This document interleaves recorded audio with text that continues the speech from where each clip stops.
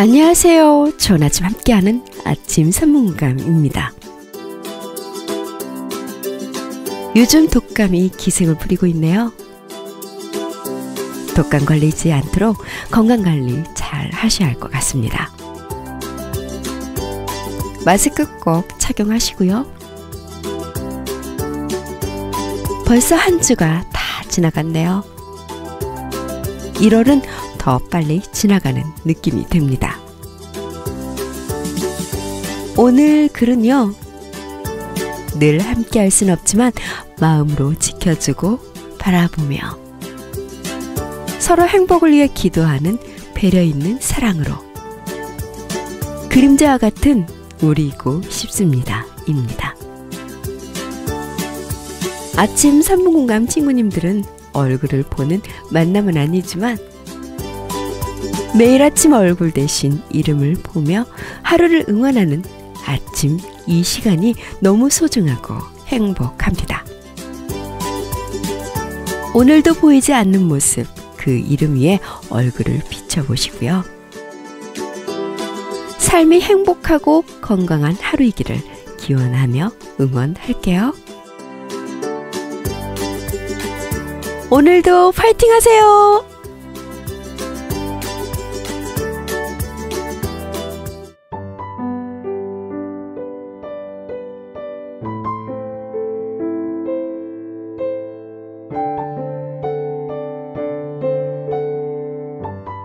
아침에 함께하면 참 좋은 글.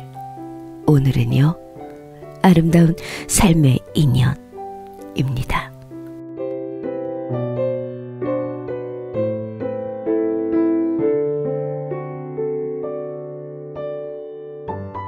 삶의 기퉁이에서 우연이란 이름으로 만난 우리지만 이토록 애틋한 그림이 될 줄은 몰랐습니다. 늘 함께 할 수는 없지만 마음으로 지켜주고 바라보며 서로 행복을 위해 기도하는 배려 있는 사랑으로 그림자와 같은 우리고 싶습니다.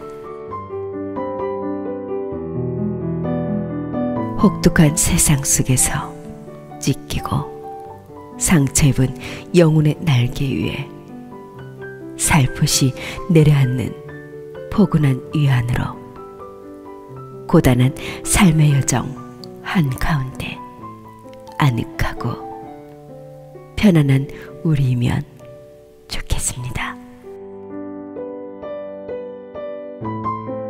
때로는 사랑스러운 연인처럼, 때로는 다정한 친구처럼 서로에게 마음의 양식을 주고 받을 수 있는 아름다운 우정의 사랑이고 싶습니다.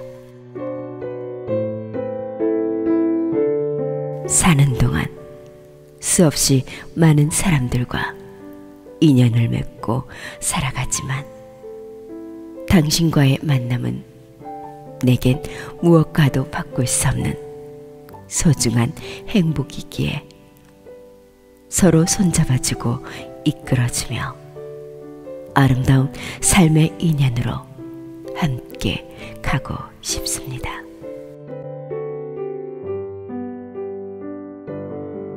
글 구성 윤정근 낭송 이온겸